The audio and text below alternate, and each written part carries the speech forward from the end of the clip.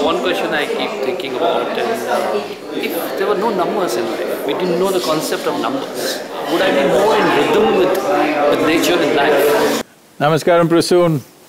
I know you're a magician of words, you don't like numbers Well, once you say me and you, well, there are two. Or even if you say myself, then there is one. Once there is one, then ten, hundred, thousand, million is just a natural consequence of that. So the moment you say me, you already created a number.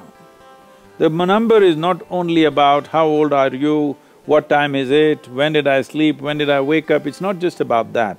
You and me itself are two numbers. So myself itself is a number. The only way to be beyond numbers is to be… is called as shunya.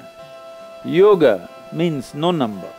Why yoga means no number means the word yoga essentially means union, which means it is the science of how to obliterate the boundaries of your individuality.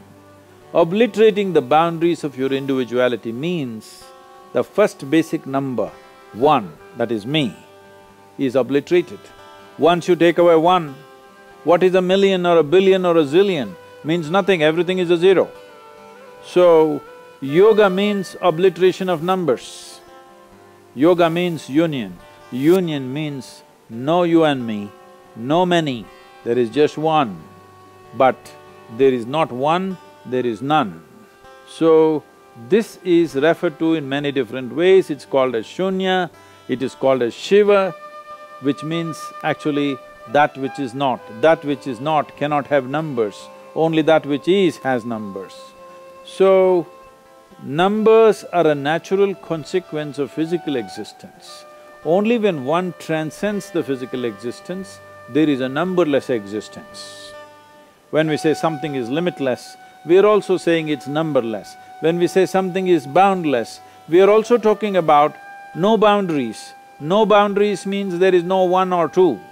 So numberless existence is possible only when there is an absolute state of yoga or union. That's what we're trying. This is my effort in my life, to take people into that experience of numberlessness. But keep the magic of words going Prasoon. Magic of numbers is also beautiful in the form of mathematics as magic of words are. So both words and numbers are not two different things because there is one word means there will be many words. There is number one means there will be many numbers. All this is a consequence of physical manifestation of existence. If one transcends the physical, then we use the most corrupted word spiritual. What spiritual means is a numberless existence.